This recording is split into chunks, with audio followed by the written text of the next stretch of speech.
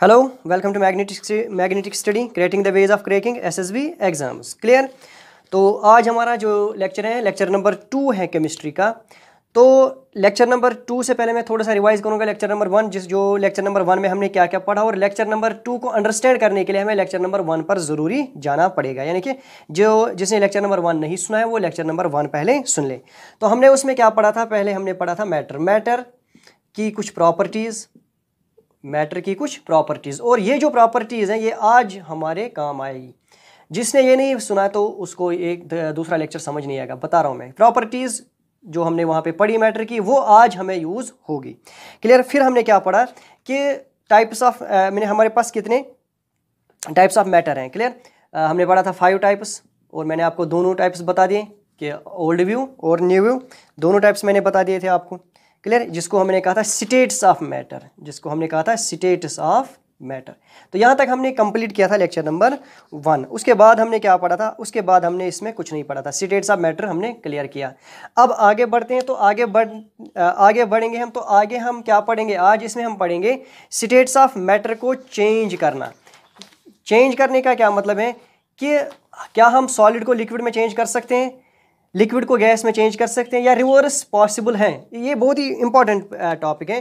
तो आज का जो हमारा टॉपिक रहेगा, वो रहेगा change change of state. Change of state.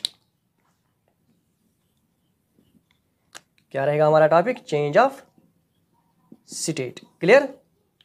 Now. इसी को आ, आगे ले जाएँगे हम। तो चेंज ऑफ़ स्टेट में हम दो तरीके का चेंज पढ़ेंगे। एक तरीका होता है चेंज ऑफ़ प्रेशर यानी कि अगर हम प्रेशर को चेंज कर सकें क्या स्टेट चेंज हो जाएगी? सॉलिड लिक्विड या लिक्विड सॉलिड या गैस या गैस लिक्विड में कन्वर्ट हो जाएगा। इसी तरह दूसरा है चेंज ऑफ़ टेम्परेचर यानी कि टेम्परेचर के चेंज करने से क्या स्टेट चेंज हो सकती हैं। क्लियर तो दोनों पढ़ेंगे हम इसमें। तो सबसे पहले हम देखेंगे प्रेशर, क्योंकि छोटा सा टॉपिक है ये। टेम्परेचर थोड़ा सा ठीक है मतलब उसकी लेंथ थोड़ी सी ज़्यादा ही है। तो चेंज ऑफ़ प्रेशर करने से क्या होगा, अगर आप याद रखोगे इसमें on increasing temperature sorry on increasing pressure अगर आप प्रेशर को इंक्रीज करोगे साथ साथ क्या करना पड़ेगा आपको? साथ साथ आपको टेम्परेचर को डिक्रीज करना पड़ेगा। टेम्परेचर को डिक्रीज करना पड़ेगा। अगर आपने प्रेशर को इंक्रीज किया टेम्परेचर को डिक्रीज किया देन तो होगा क्या? Then gas can be converted into liquid हम गैस को लिक्विड में कन्वर्ट कर सकते हैं और लिक्विड को सॉलिड में कन्वर्ट कर सकते हैं। क्या चीज़? गैस को लिक्विड में कन्वर्ट करेंगे और लिक्विड को सॉलिड में। तो इस प्रोसेस को कहते हैं लिक्विफिकेशन। क्या कहते हैं? लिक्विफिकेशन। लिक्विफिकेशन का क्या मतलब होता है? गैस को लिक्विड में कन्वर्ट करना। और इसको क्या कहते हैं? इसको कहते हैं सॉलिडिफिकेशन। तो यह ध्यान रहे, इसको भी सॉलिडिफिकेशन ही कहते हैं, क्योंकि हमने क्या किया? लिक्विड को सॉलिड में कन्वर्ट किया। चाहे आप प्रेशर से करोगे या टेम्परेचर से करोगे, दोनों में इसको सॉलिडिफिकेशन ही बोलते हैं। क्लियर? तो ये था चेंज ऑफ़ प्रेशर की वजह से हम चेंज स्टेट कर सकते हैं। क्लियर तो मैंने कहा हाँ कर सकते हैं, लेकिन खाली ऑनली प्रेशर को चेंज करने से स्टेट चेंज नहीं होगी। टेम्परेचर को डिक्रीज करना पड़ेगा इसमें, और प्रेशर को इंक्रीज करना पड़ेगा। तब आप ये चीज़ें पॉसिबल कर सकते हो, यानी कि गैस को लिक्विड में और लिक्विड को सॉलिड में कन्वर्ट कर सकते हो। क्लियर आगे बढ़ते हैं। अब हम क्या देखेंगे? हम देखेंगे चेंज इन टेम्परेचर क्या देखेंगे? Change in temperature change in temperature सबसे पहले हम देखेंगे इसमें चेंज इन टेम्परेचर में, क्या हम सॉलिड को लिक्विड में कन्वर्ट कर सकते हैं? सॉलिड को किसमें कन्वर्ट करना पड़ेगा? लिक्विड में। और इस प्रोसेस को कहते हैं फ्यूजन क्या कहते हैं इस प्रोसेस को? फ्यूजन तो फ्यूजन क्या प्रोसेस है? Fusion is the process in which solid is converted into liquid by increasing temperature of a substance clear या मटेरियल ये चीज़ समझ आई? फ्यूजन किसको कहते हैं? सॉलिड को लिक्विड में चेंज करना। बाय इंक्रीजिंग टेम्परेचर तो ध्यान रहे, जब आपको सॉलिड को लिक्विड में चेंज करना पड़ेगा तो आपको क्या करना पड़ेगा? टेम्परेचर को इंक्रीज करना पड़ेगा। क्या करना पड़ेगा? टेम्परेचर को इंक्रीज क्लियर जब आप टेम्परेचर को इंक्रीज करोगे तो सॉलिड लिक्विड में चेंज हो जाएगा। अब इस टेम्परेचर इंक्रीज करने से होता क्या है? होता यह है कि काइनेटिक एनर्जी ऑफ़ पार्टिकल्स जो होती हैं जो पार्टिकल्स के पास एनर्जी होती है, ये मैंने फ़र्स्ट लेक्चर में पढ़ाया था प्रॉपर्टीज़ ऑफ़ मैटर में। काइनेटिक एनर्जी ऑफ़ पार्टिकल्स क्या होती हैं, वो इंक्रीज हो जाती हैं।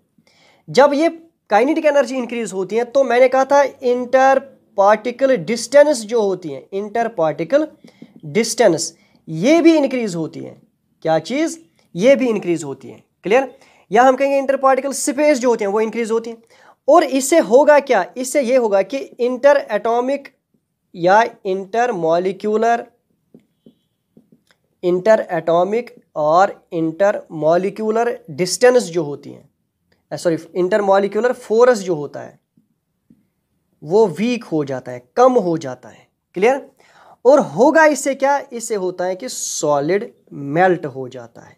क्या है? Solid melt. और ये कन्वर्ट हो जाता है किसमें लिक्विड में। ये मैंने आपको पूरी थ्योरी बता दी किसमें सॉलिड जब लिक्विड में कन्वर्ट हो जाएगा, कब, किस वजह से? टेम्परेचर के चेंज होने की वजह से। तो होता क्या है एक्चुअल में? टेम्परेचर इंक्रीज करेंगे हम तो kinetic energy of particles increase हो जाएगी। जिन पार्टिकल्स ने सॉलिड बनाया था, जिन पार्टिकल्स ने सॉलिड बनाया था, उन पार्टिकल्स की काइनेटिक एनर्जी इंक्रीज हो जाएगी। इंक्रीज होने से क्या होगा? इंटर पार्टिकल डिस्टेंस भी इंक्रीज होगी। इंटर पार्टिकल डिस्टेंस इंक्रीज होगी। और इंटर पार्टिकल डिस्टेंस इंक्रीज होने से inter atomic inter molecular forces decrease हो जाते हैं, वीक हो जाते हैं। और जब वो वीक होंगे तो सॉलिड मेल्ट हो जाता है। क्या चीज़? सॉलिड मेल्ट हो जाता है और कन्वर्ट हो जाता है किसमें? लिक्विड में। क्लियर? किसमें हो जाता है? लिक्विड में। अब यहाँ पर एक पॉइंट हमें डिफाइन करना है। वो क्या चीज़ है? वो चीज़ है मेल्टिंग पॉइंट। क्या चीज़? Melting point. अब मेल्टिंग पॉइंट क्या चीज़ है? तो यह ध्यान रहे, मैं इसको डिफाइन करूँगा यहाँ पर मेल्टिंग पॉइंट को यह आपको याद रखना पड़ेगा। कुछ टर्म्स इसमें काफ़ी इंपॉर्टेंट टर्म्स हैं जो आपको याद रखने मेल्टिंग पॉइंट किसको कहेंगे हम? शबाश, ये तो टेम्परेचर ही है ना? It is the temperature the temperature the temperature at which at which solid melts at which solid melts to become liquid at atmospheric pressure यानी कि आपको प्रेशर इंक्रीज डिक्रीज नहीं करना है, जो एटमॉस्फेयर का प्रेशर है, वही रखना पड़ेगा। और उस समय क्या है उस टेम्परेचर को हम क्या कहेंगे? मेल्टिंग पॉइंट जिस टेम्परेचर से सॉलिड मेल्ट हो जाता है किसमें? लिक्विड में। क्लियर हुआ है तो एक और चीज़ यहाँ पर मैं आपको ये बताने जा रहा हूँ मेल्टिंग पॉइंट क्या चीज़ है? तो मेल्टिंग पॉइंट एक्चुअल में होता है इंडिकेशन क्या होता है? इंडिकेशन ये किसका इंडिकेशन होता है?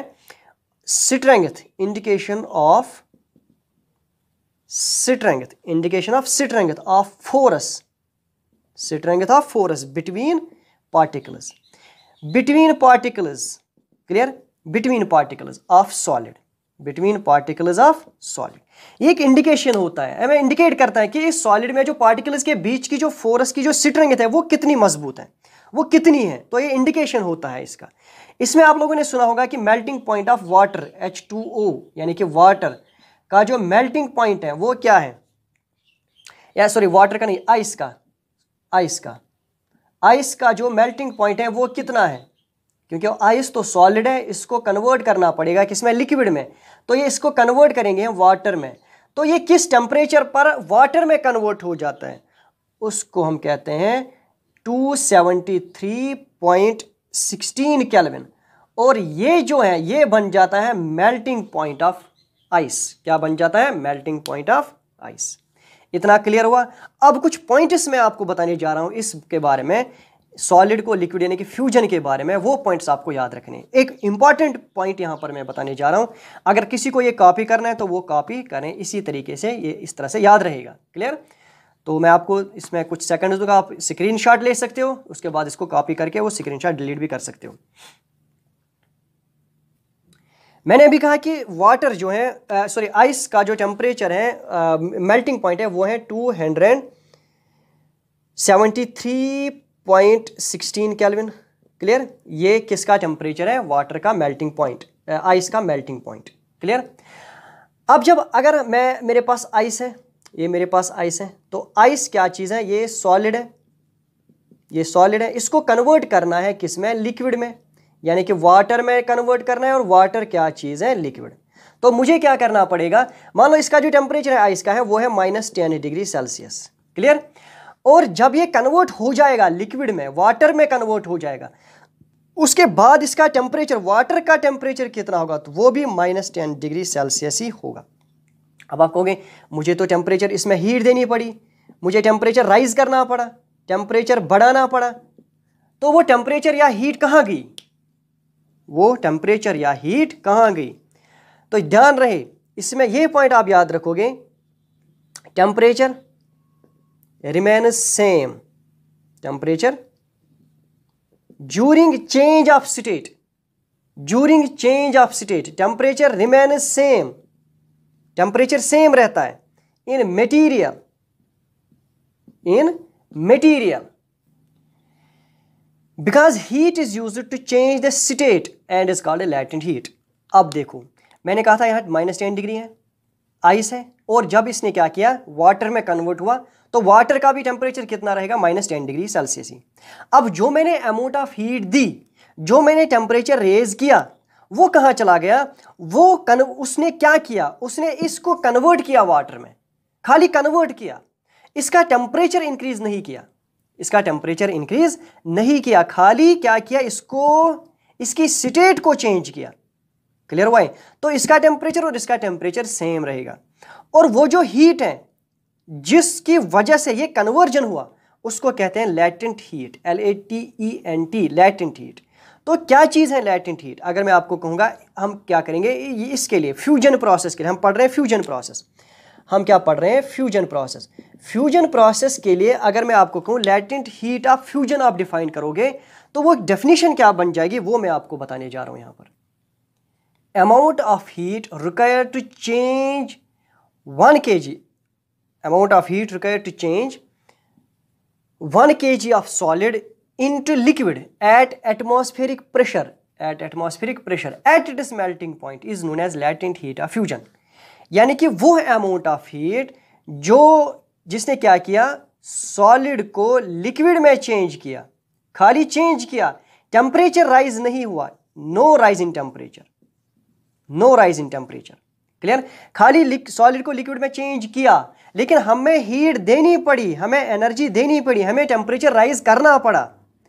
और उसकी वजह से क्या हुआ? सॉलिड लिक्विड में चेंज हुआ। उस चीज़ को हम कहेंगे लैटेंट हीट ऑफ़ फ्यूजन क्या चीज़? लैटेंट हीट ऑफ़ फ्यूजन अगर अब टेम्परेचर इंक्रीज हुआ होगा लिक्विड का तो वो लैटेंट हीट ऑफ़ फ्यूजन नहीं कहलाएगा। क्लियर तो खाली क्या होना है? सॉलिड को लिक्विड में चेंज होना है with no rise of temperature तो उस अमाउंट ऑफ़ हीट को हम क्या कहेंगे? Latent heat of fusion clear अब ये कुछ पॉइंट्स थे किसके बारे में? सॉलिड को लिक्विड यानी कि फ्यूजन के बारे में। अब नेक्स्ट पर आते हैं हम लिक्विड को गैस में कन्वर्ट करने के लिए। जब हम लिक्विड को गैस में चेंज करें विथ इंक्रीज इन टेम्परेचर तो उस प्रोसेस को कहते हैं वेपोराइजेशन क्लियर क्या कहते हैं इसको? वेपोराइजेशन तो इसमें भी यही चीज़ें होती हैं जो अभी मैंने कहा था कि अगर हम टेम्परेचर को इंक्रीज करें टेम्परेचर को क्या करना है? टेम्परेचर को इंक्रीज करना है। इंक्रीज करने से क्या होगा? काइनेटिक एनर्जी और ज़्यादा इंक्रीज हो जाएगी। काइनेटिक एनर्जी इंक्रीज मोर और ज़्यादा इंक्रीज हो जाएगी। तो इसका क्या मतलब है? डिस्टेंस इंटर पार्टिकल डिस्टेंस जो होगी इंटर पार्टिकल डिस्टेंस वो और ज़्यादा इंक्रीज होगी। एज कंपेयर टू इनिशियल अभी जो मैंने कहा था, किसमें? फ्यूजन में, अब यहाँ पर और ज़्यादा इंक्रीज होगी। जब वो और ज़्यादा इंक्रीज होगी तो फोर्स जो मैंने कहा था inter molecular inter atomic inter molecular force, वो और ज़्यादा वीक होगा। और होगा क्या? हम कहेंगे यहाँ पर मेल्ट नहीं कहेंगे, बल्कि हम कहेंगे लिक्विड जो है, इसको क्या हुआ? ये बॉयल हुआ। क्या हुआ? बॉयल हुआ। और किसमें चेंज हुआ? गैस में। क्लियर हुआ है? तो लिक्विड बॉइल हो जाता है और किसमें कन्वर्ट हो जाता है? गैस में। तो उसमें सॉलिड में क्या होता है? मेल्ट हो जाता है। सॉलिड को मेल्ट बोलते हैं। यहाँ पर लिक्विड को बॉइल करना पड़ता है हमें। तो गैस में कन्वर्ट होता है। तो वहाँ पर हमने मेल्टिंग पॉइंट डिफाइन किया। अब यहाँ पर क्या डिफाइन करना पड़ेगा? Boiling point. क्या चीज़? Boiling point. अब आप खुद ही बताओगे, बॉइलिंग पॉइंट क्या चीज़ है? तो ये वही है amount of temperature amount of temperature या सीधे आप लिखोगे temperature the temperature at which at which liquid starts boiling at atmospheric pressure is known as boiling point. तो क्या चीज़ होता है? टेम्परेचर ही है ये, और उस टेम्परेचर से क्या होगा? लिक्विड बॉयल हो जाता है atmospheric pressure is known as at atmospheric pressure is known as boiling point जैसे आप लोगों ने वाटर का बॉइलिंग पॉइंट सुना होगा that is hundred degree Celsius hundred degree Celsius तो अगर ये हंड्रेड डिग्री सेल्सियस है तो आप लोगों ने सुना होगा, ये three hundred seventy three kelvin होता है।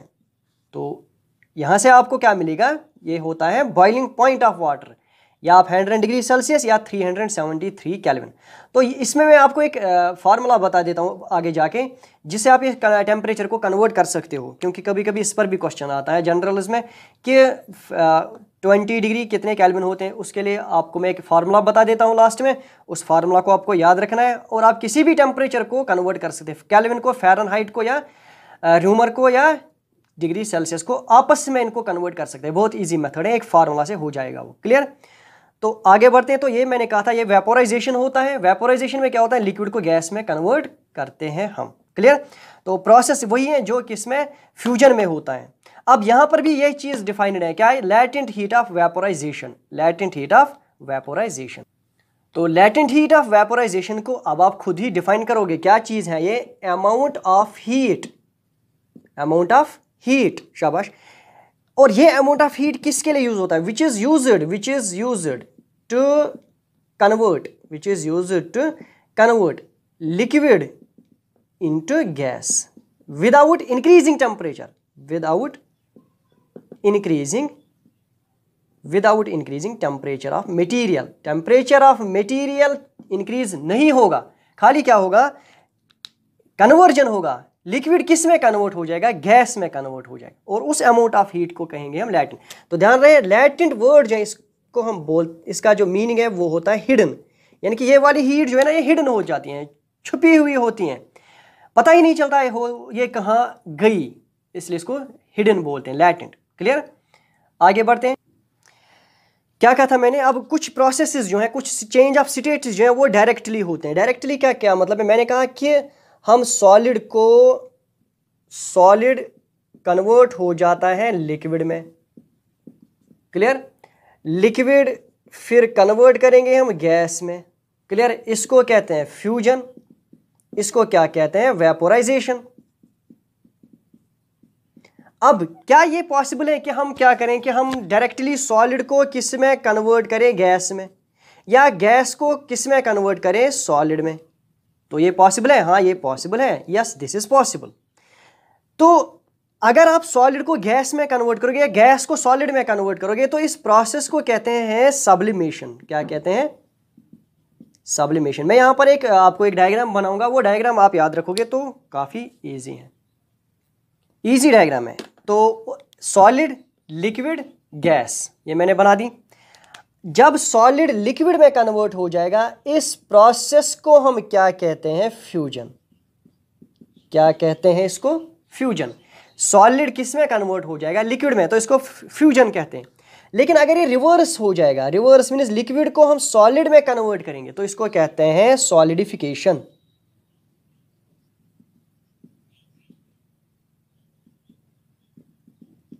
क्या कहते हैं? सॉलिडिफिकेशन अगर लिक्विड गैस में कन्वर्ट करना है लिक्विड को गैस में कन्वर्ट करना है, इसको मैंने क्या कहा था? वेपोराइजेशन क्या कहते हैं इसको? वेपोराइजेशन अगर गैस को लिक्विड में कन्वर्ट करना है तो इसको क्या कहते हैं? इसको कहते हैं कंडेंसेशन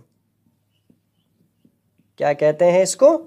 कंडेंसेशन और अगर गैस को लिक्विड या सॉलिड सॉलिड को गैस या गैस को सॉलिड इनवर्स दोनों या सॉलिड को गैस बनाना है, गैस को सॉलिड बनाना है। इन दोनों को कहते हैं सब्लिमेशन क्या कहते हैं? सब्लिमेशन तो ये आप ध्यान में रखोगे। सब्लिमेशन ही दोनों को कहते हैं। तो ये डायग्राम आप याद रखोगे। इस डायग्राम से आप लोगों को इन प्रोसेस यानी कि इन टर्म्स को याद करके आप फ्यूजन सॉलिडिफिकेशन कंडेंसेशन वेपोराइजेशन और सब्लिमेशन जब आप लोगों ने इन ये जब मैंने आपको ये बता दिया, इसको फ्यूजन बोलते हैं, इसको सॉलिडिफिकेशन बोलते हैं, इसको कंडेंसेशन बोलते हैं, इसको वेपोराइजेशन बोलते हैं, इसको सब्लिमेशन तो आपके जहन में एक चीज़ आया होगा that thing is called evaporation तो इवापोरेशन क्या चीज़ है फिर? अभी तक सर ने ये इवापरेशन नहीं बता दिया। तो अब हम इवापरेशन ही बताएँगे दो तीन मिनट्स में। इसके बाद इसको क्लोज अप करेंगे हम। देखो डिफरेंस तो पता चल ही गई होगी ना वेपोराइजेशन और इवापरेशन में। तो वेपोराइजेशन में हम ये कहते हैं लिक्विड लिक्विड गैस में कन्वर्ट होगा, लेकिन किस टेम्परेचर पर? बॉइलिंग पॉइंट वाले टेम्परेचर पर। किस पर? बॉइलिंग पॉइंट वाले टेम्परेचर पर। तो इवापोरेशन में भी यही प्रोसेस होता है। लिक्विड गैस ही में कन्वर्ट होता है। लेकिन किस टेम्परेचर पर? बिलो बॉइलिंग पॉइंट पर। बिलो बॉइलिंग पॉइंट पर। यानी कि बॉइलिंग पॉइंट से पहले पहले जितना लिक्विड गैस में कन्वर्ट हो जाएगा, उस प्रोसेस को कहते हैं इवापोरेशन क्या कहते हैं? इवापोरेशन क्लियर अब इवापोरेशन आप लोगों को समझ में आया होगा। क्योंकि आप लोगों ने पहले सबलिम दिस क्या कहते हैं इसको बॉइलिंग पॉइंट पढ़ा है। बॉइलिंग पॉइंट में आपने वेपोराइजेशन डिफाइन किया, वो चीज़ें आप लोगों को याद रखनी है। क्योंकि ये कभी कभी डिफरेंस आता है। What is the difference between evaporation and evaporation and vaporization दोनों में क्या डिफरेंस है? तो डिफरेंस यही है। क्लियर अब कुछ पॉइंट इस इवापोरेशन इवापोरेशन से के रिलेटेड मैं आप कुछ पॉइंट्स बताने जा रहा हूँ। वो पॉइंट्स आप याद रखोगे। क्लियर कुछ पॉइंट्स मैंने यहाँ पर आपको लिखाए हैं। किसके बारे में? इवापोरेशन के बारे में। तो evaporation is a surface phenomena ये सरफेस फिनोमिनन है। इसका क्या मतलब है सरफेस फिनोमिनन है? जितनी ज़्यादा सरफेस एरिया होगा, उतना ज़्यादा इवापोरेशन होगा। तो मैं इसके लिए एक एग्जांपल आपको दे रहा हूँ, जिससे आप लोगों को ये समझ आएगा। जब आप लोगों को कोई कपड़ा सुखाना होगा तो आप क्या करते हो? तो आप उसको फैलाते हो स्प्रेड दिम आउट फैलाते हो। और उसे होगा क्या? उसे वो जल्द जल्द जल्द अज जल्द ड्राई हो जाता है। क्लियर तो ऐसा क्यों होता है? क्योंकि हम इसको फैलाने से क्या होगा? उसका सरफेस जो होता है सरफेस एरिया जो होता है, वो बढ़ जाता है। मेरे पास ये फॉर एग्जांपल ये कपड़ा है। ये फॉर गीला है, इसको सुखाना है। तो अगर मैं इसको ऐसे रखूँ, इस तरह से रखूँ, फिर ऐसे धूप, में बाहर धूप है तो वहाँ ऐसे रखूँ तो क्या ये सूख जाएगा? हाँ सूख जाएगा, लेकिन काफ़ी टाइम लेगा। इसके बावजूद अगर मैं इसको ऐसे सुखाऊँ, ऐसे रखूँ तो ऐसे रखने से क्या होगा? ये जल्द से जल्द सूख जाएगा। ऐसा क्यों होता है? क्योंकि इवापरेशन जो है इवापरेशन का क्या मतलब है? इसमें जो लिक्विड है, उसको गैस में कन्वर्ट करना है। गैस में कन्वर्ट करने से क्या होगा? इवापरेशन उसी को कहते हैं कि रेट ऑफ़ इवापरेशन इंक्रीज हो जाएगा। किस तरह से हो जाएगा? जब इसका सरफेस आप बढ़ाओगे। मैंने इसका सरफेस बढ़ाया, अब इसका क्या होता है कि इसकी जो इवापरेशन है, वो जल्दी जल्दी हो जाएगी और ये सूख जाएगा। दूसरा चीज़ it increase if temperature increase अगर आप टेम्परेचर को बढ़ाओगे तो ये भी बढ़ जाएगा। It increase with increase in wind speed अगर हवा तेज चल रही है तो तब भी तो ये बढ़ जाएगा। क्लियर जिन पार्टिकल्स के पास ज़्यादा एनर्जी होती है, वही तो भाग जाएँगे ना। वो भाग जाएँगे और उसी को प्रोसेस को कहते हैं ना ऑपरेशन भी। Decrease is with increase in humidity अगर ह्यूमिडिटी ज़्यादा है ह्यूमिडिटी का क्या मतलब है? Water content in atmosphere water content in atmosphere अगर ज़्यादा ह्यूमिडिटी है तो ये ऑपरेशन डिक्रीज हो जाता है, क्योंकि ऑलरेडी एयर के पास क्या चीज़ है? ऑलरेडी उसके पास वाटर कंटेंट ज़्यादा है तो वो आपसे वाटर नहीं लेगा, वो चीज़ों से वाटर नहीं लेगा। Increases with increase in wind speed तो ये मैंने अभी आपको बता दिया। अब इवापरेशन से क्या हो जाता है? इट काजेज कूलिंग इफ़ेक्ट अब इस पर मैं आपको एक दो पॉइंट्स बताने जा रहा हूँ, ताकि आप लोग ये क्लियरली अंडरस्टैंड कर सको। देखो, मैंने एक पॉइंट यहाँ पे लिखा आया है, और इस पॉइंट को आप क्लियरली अंडरस्टैंड करोगे, तब जाके आपको कुछ चीज़ों का पता चल जाएगा। कौन सी चीज़ों का पता चल जाएगा, मैं आपको बताने जा रहा हूँ वो चीज़। कि जब हम कोई चीज़, जैसे कि अगर आप लोगों ने पेट्रोल अपने पाम में रखा तो वो पेट्रोल यहाँ पे कूलिंग इफ़ेक्ट देता है। आप लोगों को लगता है कि कोई सर्द चीज़ ने छुआ है इस स्किन को यहाँ पर, वो क्यों होता है? या मैक्सिमम आप लोगों को सुना होगा कि कॉटन क्लोथ्स हम समर में, हमें समर में कॉटन क्लोथ्स पहनने चाहिए। उन सब का रीज़न ये है, या अगर आप लोगों ने वाटर बहुत कोल्ड वाटर, आइस वाटर अपने गिलास में पोर किया तो गिलास में भर दिया तो गिलास के बाहर आप लोगों के वाटर ड्रॉपलेट्स नज़र आते हैं। वो सब चीज़ें, उन सब चीज़ों का रीज़न जो है, वो ये है। अब ये इसको समझते हैं। Particles of the liquid absorb energy देखो सॉलिड अगर आपको लिक्विड को कन्वर्ट करना है, किसमें? लिक्विड को कन्वर्ट करना है गैस में। मैंने कहा था लिक्विड पार्टिकल्स को क्या देनी पड़ेगी? पार्टिकल्स को देनी पड़ेगी एनर्जी क्या देनी पड़ेगी?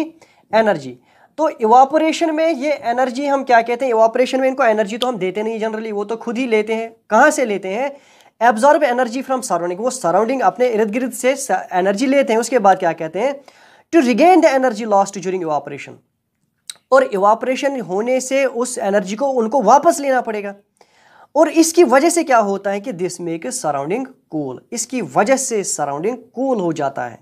Clear why Particles of liquid absorb energy from surrounding. To regain the energy lost during evaporation, this makes surrounding cool. Clear हुआ है? इससे सराउंडिंग कूल हो जाता है। इस चीज़ को फिर से मैं समझाता हूँ। यहाँ पर कुछ अमाउंट ऑफ़ एनर्जी थी। क्लियर और ये एनर्जी लिक्विड वाटर लिक्विड ने लिक्विड पार्टिकल ऑफ़ लिक्विड ने यहाँ से एनर्जी ली। अब यहाँ से जब एनर्जी ली तो यहाँ पर पहले एनर्जी थी। अब यहाँ पर एनर्जी नहीं है तो एनर्जी नहीं है का मतलब क्या है? एनर्जी नहीं होने का मतलब है, यहाँ पर थोड़ी सी कोल्डनेस आएगी। क्या चीज़ आएगी? कोल्डनेस आएगी। क्लियर जब यहाँ पर एयर में कोल्डनेस आएगी और उसी को कहते हैं this make a surrounding cool और इसी वजह से ये पोर्शन जो सराउंडिंग का हो जाता है, ये क्या हो जाता है? ये सर्द हो जाता है कूल हो जाता है। क्लियर हुआ है? आई होप आप लोगों ने ये गेटअप किया होगा। अगर नहीं भी किया है गेटअप तो आप लोग कमेंट्स में इसमें आप क्या करोगे? इसमें आप लिखोगे कि कहाँ से आपको प्रॉब्लम आ रही है तो मैं उस प्रॉब्लम को वहीं पर दूर करूँगा। नेक्स्ट लेक्चर में इसको फिर से आपको एक चीज़ फिर से बताता है। चलो क्लियर तो अब लास्ट में इस पर एक आपको स्क्रीन पर एक पॉइंट कुछ पॉइंट्स आएँगे, वो पॉइंट्स भी आपको इसमें याद रखने। चलो, वो पॉइंट्स मैं आपको क्या करूँगा? वो पॉइंट्स में आपको नो ऐसा जो आपका मटेरियल होगा टेलीग्राम चैनल जिसकी डिस्क्रिप्शन लिंक में, उसके थ्रू आपको प्रोवाइड कराऊँगा। सो so, मिलते हैं नेक्स्ट लेक्चर में. तब तक के लिए हैव ए नाइस डे